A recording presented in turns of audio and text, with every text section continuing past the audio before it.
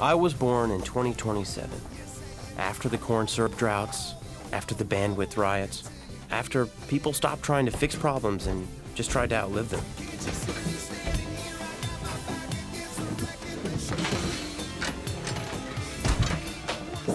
My parents, they didn't make it through those times, so I live here in Columbus, Ohio with my Aunt Alice. In 2045, Columbus is the fastest growing city on Earth.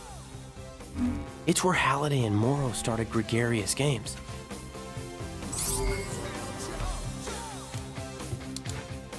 These days, reality is a bummer. Everyone's looking for a way to escape. And that's why Halliday, that's why he was such a hero to us. He showed us that we could go somewhere without going anywhere at all.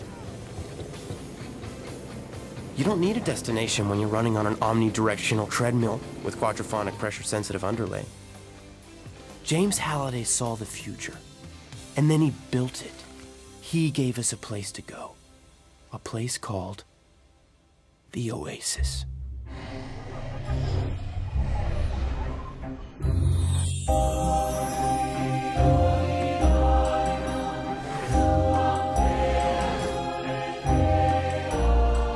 This is the Oasis.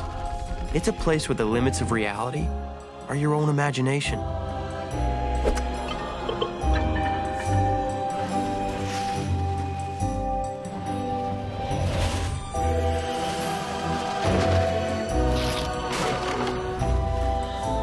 You can do anything.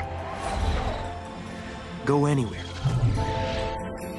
Like the vacation planet. Surf a 50 foot monster wave in Hawaii.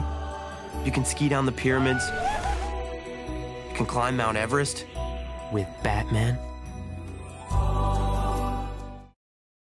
私だったらキングコングになりたいですいつか現実にあり得る内容だからワクワクしました日本人として嬉しかったですあ見つけられました 世界中で大ヒット。日本でも大ヒット。レディープレイヤー1